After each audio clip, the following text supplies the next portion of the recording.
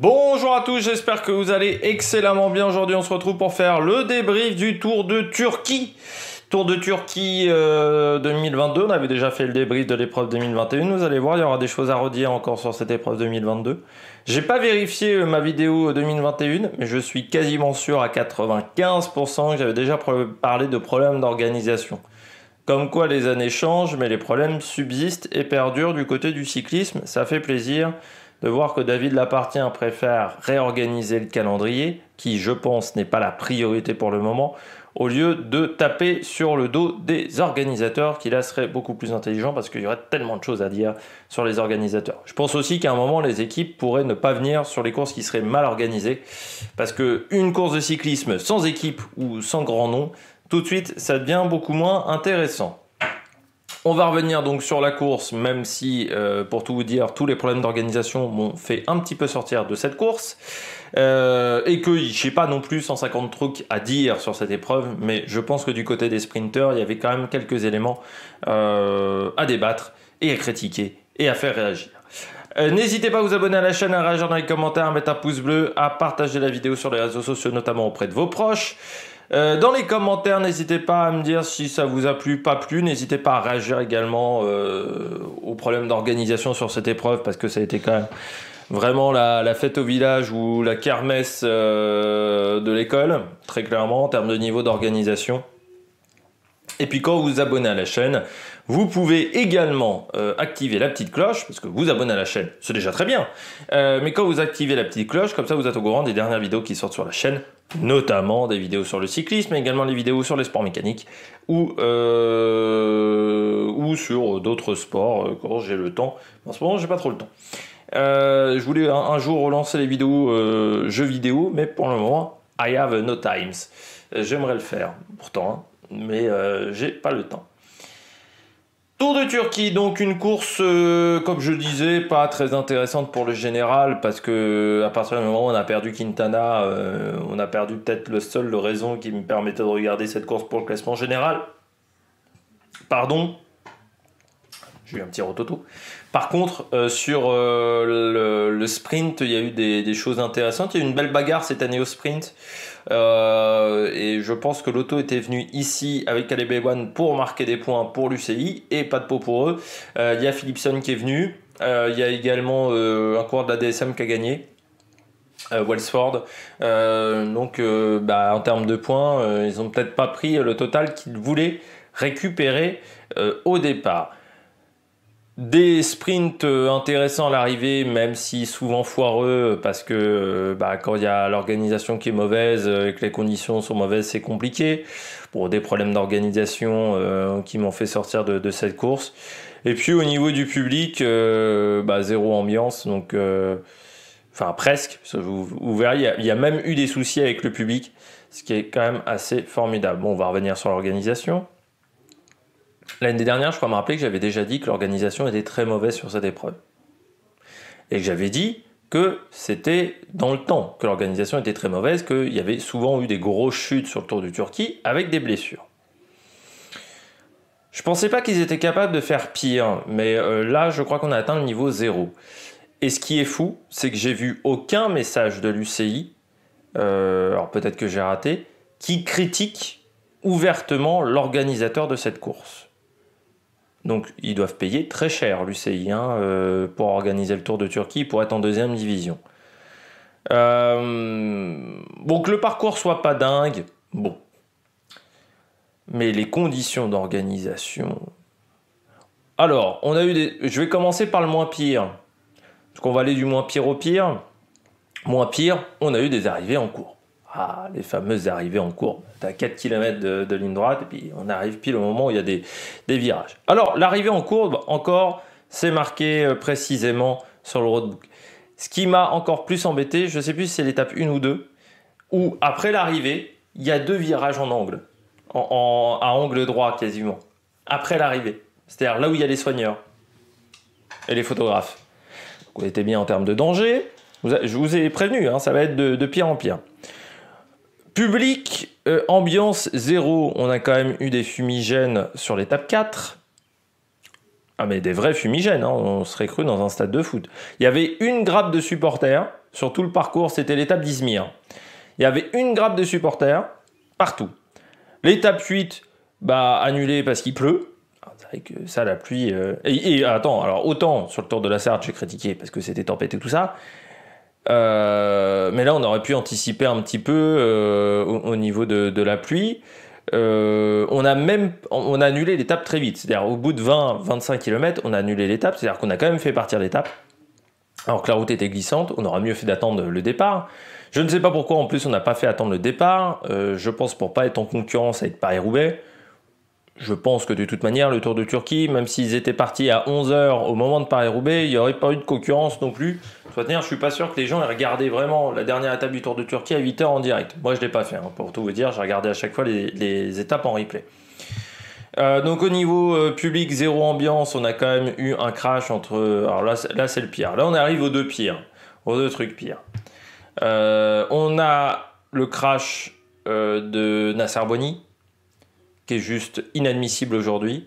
Mais c'est autant dû au Enfin, je, pense que c'est dû à l'organisation. Autant j'ai dédouané euh, Paris-Roubaix sur euh, la chute de Lampart et euh, on a appris après coup la chute, de Sénéchal en disant on peut pas foutre 55 km de barrière sur un parcours. Par contre, ce qu'on peut faire, c'est quand même prévenir qu'il y a une course cycliste. Là, le mec qui s'est pris Nasser Boigny, j'ai l'impression qu'il était même pas au courant qu'il y avait des coureurs qui passaient. Alors normalement sur une course cycliste, vous avez des voitures euh, avant le peloton qui disent euh, attention, la course arrive dans 5 minutes. Pour avoir été sur le Tour de France, sur Paris, euh, Paris-Nice également, vous avez sur d'autres courses, vous avez ces fameuses voitures qui indiquent que le peloton va arriver, c'est-à-dire que c'est les voitures ouvreuses, qui indiquent également s'il y a des personnes qui sont mal placées au niveau du parcours, pour que ça soit annoncé sur Radio, euh, radio Course. Donc ce travail-là n'a pas été fait. Voilà. Euh, et ça donne un crash effroyable et on a eu de la... Alors, j'ai essayé de trouver, mais j'ai pas trouvé l'info. Comment va la personne qui s'est fait rentrer dedans par les cyclistes? Parce qu'on a parlé de Noisser Boigny et tout ça, mais on n'a pas parlé de l'état de la personne qui s'est fait renverser quand même par les cyclistes ce qui est euh, là aussi euh, assez fort, mais euh, j'ai pas réussi à trouver l'état. Mais ça a eu hécatombe du côté de Charkea et, dans d'autres équipes, mais surtout chez Arkea. Et puis Nasser Boigny qui est quand même bien blessé. des arrivées finales donc étaient très tendues avec beaucoup de virages. on sait qu'en plus ce sont des routes qui sont sales, donc des routes qui sont glissantes. on a vu la chute de Quintana.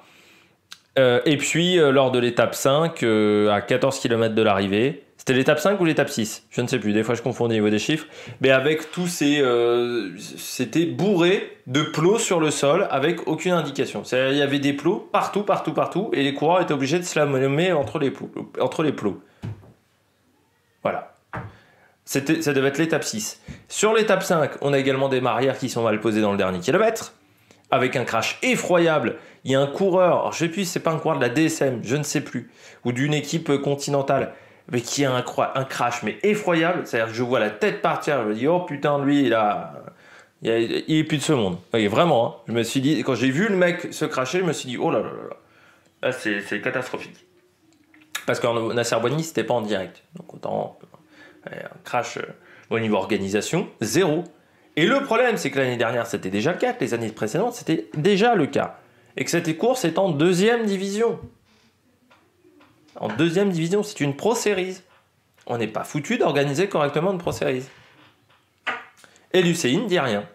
Mais j'ai envie de dire que l'UCI ne met pas de réprimande aussi pour le problème de photo finish du côté de l'Amstel, du côté du manque d'organisation du côté de l'Amstel. Donc déjà, quand ils n'arrivent pas à bien organiser des épreuves le Tour, c'est pas pour bien organiser des épreuves de deuxième division.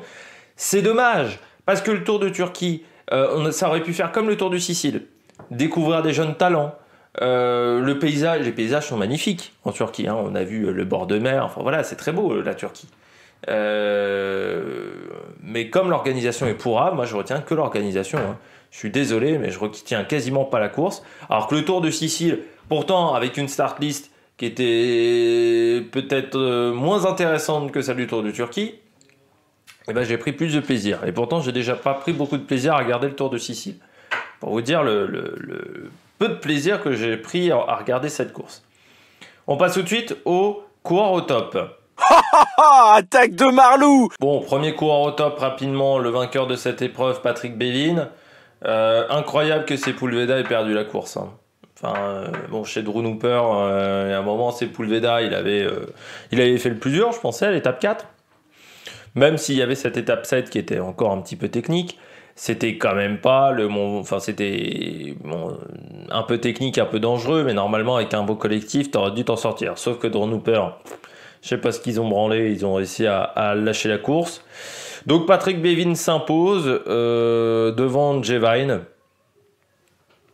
Alors je ne savais pas que Patrick Bevin était un bon coureur de grand tour. Alors je décolle, c'est toujours pas un coureur de grand tour.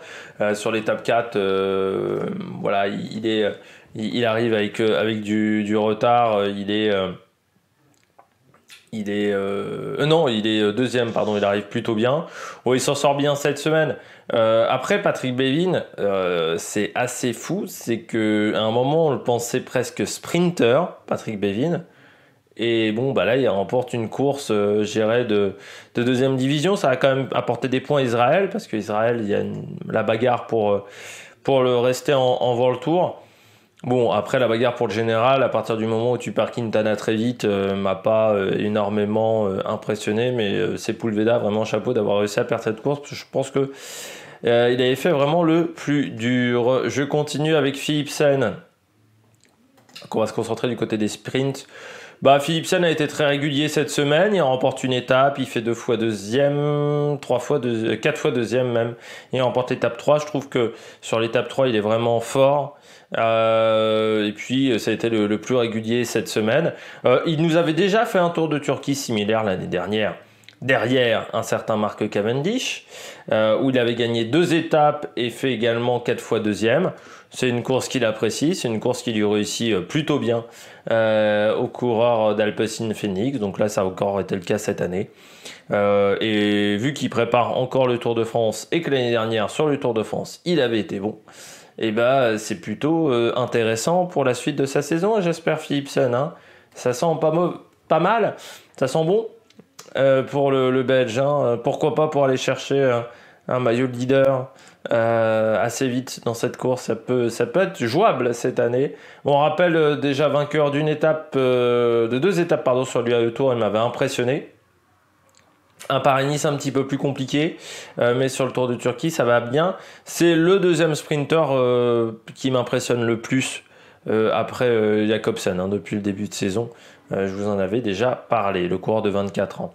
Je continue avec Caleb Ewan, euh, Caleb Ewan qui a remporté quant à lui deux étapes, qui a eu un problème euh, technique euh, sur l'étape, ça devait être l'étape d'Izmir, mais il a un problème où il peut pas sprinter, un problème technique sur son vélo.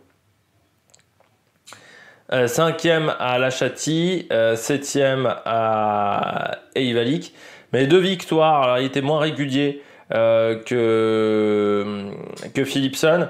Moi je trouve que sa victoire sur l'étape 6 elle est impressionnante. Euh, sur l'étape 1, bon ça va vite mais il est très très bien emmené. Sur l'étape 6 c'est une arrivée un petit peu en, en boss. Donc c'est vraiment euh, fort ce qu'il a réussi à faire sur cette étape là. Surtout que le final était technique. Donc euh, là il a, je trouve, été impressionnant sur ce sprint de l'étape 6 où vraiment moi, il m'a fait une très très belle impression. Bon, Caleb Ewan, euh, après, s'attendait peut-être pas à avoir autant d'opposition euh, cette semaine. Euh, c'est quand même Caleb Ewan là aussi, hein, 4-5. Euh, attends, non, qu'est-ce que je raconte? 2, 3, 4, 5 victoires, si, depuis le, début de saison. Deuxième de Kurn Bruxelles Kurn, troisième de la troisième étape du Tour d'Arabie Saoudite également. Donc c'est plutôt un début de saison intéressant. On rappelle qu'il fera le Giro Caleb Ewan pour euh, le mois de mai. À partir du 6 mai, le Giro, c'est dans 18 jours, je crois, hein, précisément, euh, le Tour d'Italie. On poursuit avec euh, Sam Walsford, euh, qui, un peu à la surprise générale, euh, il faut le dire, euh, Sam Walsford a remporté une étape. L'étape, euh, donc je vais retenir parce que c'est l'étape 5, avec le problème des barrières. Euh, avec Sam Walsford, euh, qui a profité d'un sprint qui était très, très tendu, on va pas se mentir. Sam Walsford, qui fait quand même un bon début de saison pour un mec qui, euh, je pense, s'était concentré sur la piste en, Australie. On se souvient, il a fait quatrième euh, de la Corshai Classic, troisième du Chal Pride. Euh, on en avait, je crois, parlé à ce moment-là de, de. Donc là, voilà, il est plutôt sur une très bonne lancée depuis mi-mars. je ne sais pas quelle sera ses, prochaines courses au calendrier, coureur de, de 26 ans, mais qui a vraiment été impressionnant. Et puis dans la hiérarchie des sprinters, euh, bon, Chessball, euh, il en a quand même pris un coup cette semaine parce que Wolfsford, bah, qui remporte une étape alors que lui n'a pas réussi euh, à faire mieux que top 5, je crois. Et encore, je suis, mais oui, il a fait quatrième de la de l'étape 2. Bah, ça fait un peu mauvais genre pour le coureur néerlandais. Et puis je termine avec un coureur français, Léo Bouvier, pourquoi euh, Léo Bouvier, euh, le français? Euh, bah, Parce qu'il prend la 11e place de l'étape numéro 2, de l'étape numéro 3, pardon, en faisant un sacré numéro, parce qu'il est dans l'échappée matinale, qui se fait reprendre à 10-15 km de l'arrivée. Et ensuite, il se remet dans le peloton et il arrive à resprinter derrière coureur de l'équipe Bike Head qui euh, va faire beaucoup de courses en France dans les jours à venir vu qu'il fera le Grand Prix du Morbihan, Trobo-Léon, euh, Ronde de l'Oise, Tour de la Mirabelle, la Route d'Occitanie, Paris 3. Le Tour de Bretagne également, le 25 avril. Euh, donc, gros calendrier pour Léo Bouvier, coureur de Bike Head, équipe continentale qui a 24 ans. Euh, qui m'a vraiment fait une belle impression euh, sur cette étape du Tour de Turquie où je trouve qu'il a fait un sacré numéro. Sixième de l'étape 2 du Tour de Normandie, septième de la première étape du Tour d'Antalya également cette saison euh, pour le coureur français. On passe tout de suite au bonnet d'âne. Du côté des bonnets d'âne, petit bonnet d'âne pour commencer avec Arkea. Euh, petit bonnet d'âne parce que certes, euh, en positif du côté d'Arkea, on a Nicolas qui rentre dans le top 5 de la course, ce qui apporte des points UCI. Hein, ça apporte 100 points UCI, sa quatrième place, Nicolas à 52 secondes. Euh, parce que on a aussi un Dan McClay qui a fait des classements quand même euh, sur quelques sprints euh, après euh, la chute de Nasser Boigny. Mais bon, le problème, c'est que vous perdez deux coureurs importants pour un temps peut-être énorme. D'un côté, Nero Quintana qui a enchaîné les chutes sur les trois premiers jours de course. Et bah, Nasser Boigny touché à, la première vertèbre. on ne sait pas trop ce qui va se passer pour Nasser Boigny. Pour le moment, il est en récupération. Mais c'est des ça demande du temps euh, de réparer une vertèbre. Donc, est-ce qu'il sera là sur le Tour de France? C'est un petit peu euh, inquiétant euh, pour le coureur français qui, pour l'instant, est maintenu avec un corset. il le disait en interview, il n'arrive pas à dormir pour le moment parce qu'il n'arrive pas à comprendre. Enfin, son cerveau n'a pas encore compris la chute. Voilà, il est choqué par la chute encore une fois par le traumatisme de cette chute. Donc on va voir comment ça va se passer du côté de Nasser Boigny. Donc d'un côté, je dirais qu'on limite la casse du côté d'Arkea en prenant des points avec Nicolas. Ils ont eu une bonne stratégie même sur l'étape 4 parce que de garder les deux dans le peloton vu qu'ils ne savaient pas si à ce moment-là euh, Quintana allait résister. Euh, et, puis, euh, et puis de l'autre côté, bon, bah, Dan Maclay il a quand même fait le job, il a pris un top 5 je crois. Dan Maclay, donc je dirais qu'on limite la casse, mais quand même c'est une pas très bonne semaine en Turquie pour l'équipe française. Heureusement, il y a eu Laurent Pichon sur Paris-Roubaix. Euh, et euh, Warren Barguil également sur la Brabanson. Sam Bennett, ça va toujours pas fort pour Sam Bennett. Euh, moi, je trouve que du côté de, Sam Bennett, au niveau du sprint, il y a un problème. Il est bien emmené, Sam Bennett. L'équipe Bora fait du bon boulot pour le moment pour l'emmener sur les sprints.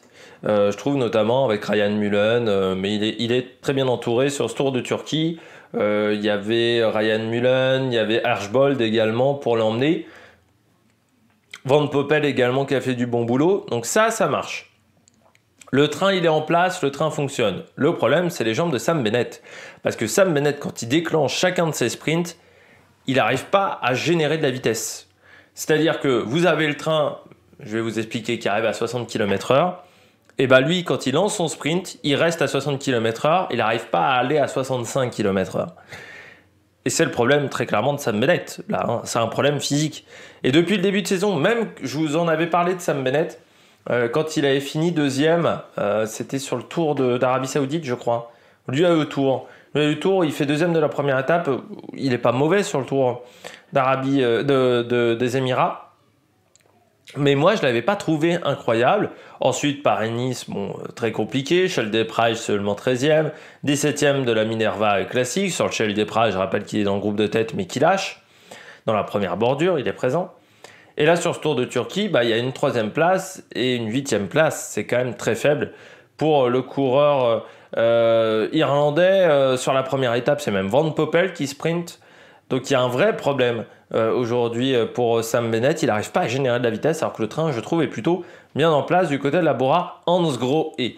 je poursuis avec Sacha Modolo. Bah, Sacha Modolo qui a besoin de se relancer après un passage chez Alpecin qui n'a pas forcément été d'une grande réussite, même s'il y avait eu une victoire euh, sur la Vuelta. Non, c'était pas sur la Vuelta, pardon, sur le Tour du Luxembourg, où il avait remporté à ma mère, euh, parce que sur la Vuelta, il avait été un peu hors du coup, du côté des sprints. Bon, Sacha Modolo, 34 euh, ans, plus très jeune, enfin, qui part pour une saison à la Bardiani. Sur ce Tour de Turquie, je pense qu'il y avait quand même possibilité de faire plusieurs top 10. Il n'en a fait qu'un seul.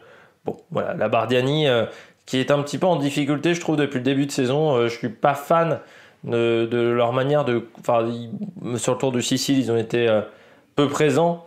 Voilà, je trouve que cette équipe-là, pour le moment, est un petit peu en, difficulté, malgré deux victoires pour Martinelli au Grand Prix d'Alagna et Marcelluzzi sur le au Piva. je trouve que ça manque un petit peu de, résultats dans cette formation. Heureusement qu'il y a Fiorelli euh, depuis le, début de saison. Je termine euh, après Sacha Modolo, donc qui n'a pas été excellent, avec euh, Eolo Kometa. Un peu pareil, hein, Eolo Kometa qui venait quand même avec Gavazzi notamment, peu présent je trouve dans cette course. L'équipe Eolo Kometa, on les a pas vus sur les sprints, on les a pas vus pour le général. bon voilà, le premier au général c'est Gavazzi qui est 12e à 2-1-2 sur une course comme ça, c'est pas top. Je trouve que voilà, ils ont été assez absents sur cette épreuve du Tour du Turquie, euh, les coureurs des Holo Cometa. Et comme ils n'ont pas fait un grand Tour de Sicile non plus, bah là aussi une équipe qui pour le moment est un petit peu euh, décevante. Euh, en 2022, j'attendais vraiment à ce qu'ils passent un cap. Et à part la victoire de Giovanni Lonardi et, un gros début de saison géré en Espagne, depuis ça stagne un petit peu. du côté de, l'équipe italienne. il y a eu Albanese sur Milan-San Remo qui fait 11e. Mais je dirais que pour le moment, collectivement, il manque quelque chose euh, du côté de cette formation qui est présent à partir d'aujourd'hui sur le Tour des Alpes. J'espère que vous avez aimé cette vidéo. Si vous avez aimé cette vidéo, n'hésitez pas à vous abonner à la chaîne, à réagir dans les commentaires, à mettre un pouce bleu, à partager la vidéo sur les réseaux sociaux. Je viens déjà de le dire. Et puis nous, on se retrouve pour de nouvelles aventures sur la Production. Ciao, ciao